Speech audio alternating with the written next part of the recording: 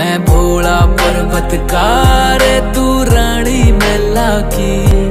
तेरी मेरी पार पड़े ना, बेशक लिखी पहला की। किसे राजा ते ब्याह करवा ले, मेरी गैल मेरे पछतावेगी। तेरी काया पड़ जा